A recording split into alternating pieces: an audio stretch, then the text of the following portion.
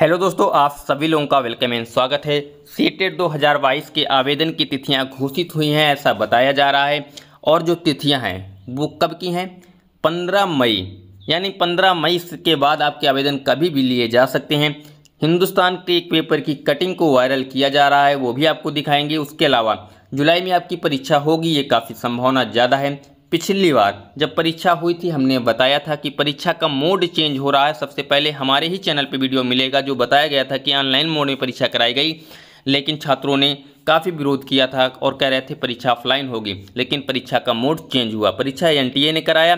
चलिए खबर देखते हैं पहले। ये आपकी खबर है, सीटेट परीक्षा। पंद्रह मई से करे आवेदन की तैयारी पूरी। इस बार हुआ बड़ा परिवर्तन, ऑनलाइन परीक्षा। यानी कि ये खबर एक वायरल की जा रही है, जिसमें बताया जा रहा है कि परीक्षा 15 मई से आवेदन लिए जाएँगे। दोस्तों, सीटेट की परीक्षा होगी, ये भी तय है, और आवेदन मई में होंगे, इसकी भी संभावना लगभग निन्यानवे प्रतिशत है। लेकिन 15 मई से आवेदन होंगे, ये कहना अभी पूरी तरीके से सही नहीं है। लेकिन जल्द ही आपको एक आवेदन के लिए, उससे पहले एक नोटिफिकेशन को जारी कर दिया जाएगा। विद आवेदन, परीक्षा फ़ीस, सारी चीज़ें, कैसे क्या क्या चीज़ों को और कैसे किया जाएगा, परीक्षा कब कब ली जाएगी, कितने चरणों में ली जाएगी, सारी नोटिफिकेशन के माध्यम से आपको जानकारी मिल जाएगी।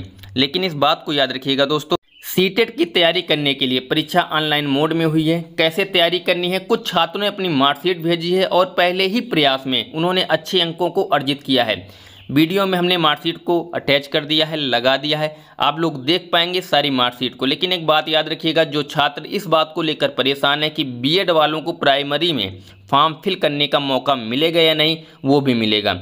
और वीडियो में आगे बढ़ें, उससे पहले अगर आप लोग तैयारी करना चाहते हैं सीटेट की फ्री में तो चैनल को ज़रूर सब्सक्राइब कर लीजिएगा और दोस्तों तक शेयर कीजिएगा इस जानकारी को। चलिए जानकारी के अलावा आपको मार्कशीटों को दिखाते हैं। कुछ मार्कशीटें आपको दिख रही होंगी। इस मार्कशीट में आप लोग देख पा रहे होंगे कि इन्होंने पहले ही प्रयास में अंक अर्जित किए हैं बानवे और नब्बे। यानी दोनों परीक्षाओं को उन्होंने उत्तीर्ण कर लिया है और दोनों ही परीक्षाओं में इन्होंने सफलता प्राप्त कर ली है। अगली मार्कशीट आप लोग देख पा रहे होंगे। इसमें इन्होंने देखिएगा, इन्होंने कितने अच्छे अंक अर्जित किए हैं? 107 अंक इन्हों को मिले हैं पहले ही प्रयास में। ये वो छात्र हैं जिन्होंने पहले ही प्रयास में अच्छे अंक अर्जित किए हैं, वो भी कम तैयारी के साथ। कैसे तैयारी करनी है? कंप्लीट वीडियो देखेंगे तो आपको समझ में आएगा। वीडियो को स्किप करके मत जाइएगा, क्योंकि फिर बाद में आप लोग कमेंट के माध्यम से पूछते हैं कि जानकारी हमें समझ में नहीं आई। तो वीडियो कंप्लीट देखा करिए, उसके बाद आपको पूरी जानकारी जो भी है समझ में आ जाएगी। इसमें भी आप लोग स्कोर देख पा रहे होंगे। इन्होंने 125 और 123 अंक अर्जित किए हैं। ये कैसे अर्जित किए हैं? इनसे कमेंट में पूछा गया था तो इन्होंने जानकारी दी है, वो भी हमने कमेंट को वीडियो के लास्ट में जोड़ दिया है, आप लोग देख पाएँगे इन्होंने क्या जवाब दिया था।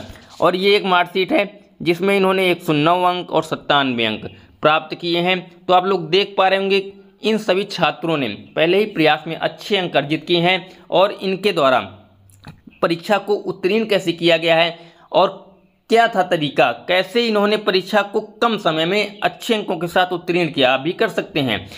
दिक्कत यह है आप लोगों के साथ कि आप लोग चीज़ों को सही तरीके से समझते नहीं हैं और वीडियो को देखने ते वक्त वीडियो को बीच में ही स्किप करके निकल जाते हैं। चलिए इनके द्वारा क्या कहा गया था वो भी आपको बता देते हैं।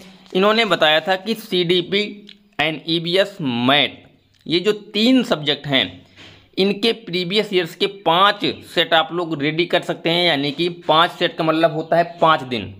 यानी पिछले पाँच दिन जो ऑनलाइन परीक्षा हुई है, उसके पाँच सेट, यानी पिछले पाँच दिनों के सेट को आप लगा सकते हैं। उसके अलावा एन के जो कॉन्सेप्ट हैं एन सी कॉन्सेप्ट हैं, उसको अच्छी तरीके से आप तैयार कर सकते हैं। वो कैसे होगा? कक्षा तीन से पाँच तक की बुकों से हो जाता है।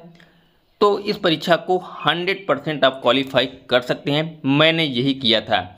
छात्र द्वारा यही पूछा जब बताया गया कि इन्होंने कैसे इस परीक्षा में अच्छे अंक अर्जित किए हैं तो इन्होंने बताया था 125 अंक इन्होंने कैसे अर्जित किया? तो इन्होंने साफ़ साफ़ शब्दों में बताया कि सीडीपी को ईबीएस को, मैथ को, प्रीवियस ईयर्स के जो पेपर थे, उनको और पाँच सेट इन्होंने रेडी किए थे अच्छी तरीके से। एनसीईआरटी के जो कॉन्सेप्ट है, बहुत ही लिमिटेड है, उसको इन्होंने तैयार किया और परीक्षा को अच्छी तरीके से उत्तीर्ण कर लिया।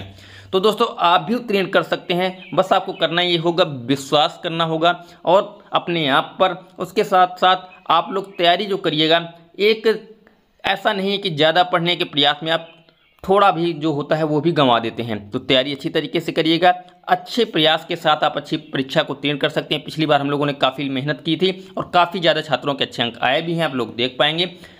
इसके साथ साथ आप लोग भी कुछ नहीं अगर आप लोग पढ़ना चाहते तो पिछले वर्षों के पेपर ऑनलाइन उपलब्ध हैं।